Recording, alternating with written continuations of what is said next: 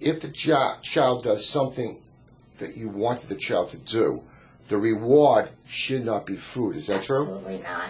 Um, going back to that um, initial question as far as starting when they're early, most of us crave these high calorie, high fat, snacky foods, whether it's ice cream, whether it's fast food, whether it's chips, um, snacks, because of a positive reinforcement, because sometimes of the positive relationship with those foods as far as ice cream, the ice cream truck on a Sunday, or I'm sorry, on a summer day, um, being outside with your friends, it relates to a happy mood, birthday cakes, families around, having a good time, having a party. So yes, you don't want to reward because we don't want to add to that positive reinforcement. You want to reward with going out for a family walk, going to the park. Actually, you want to try to reward with something active so that way the child always wants to continue with that physical activity as they get older.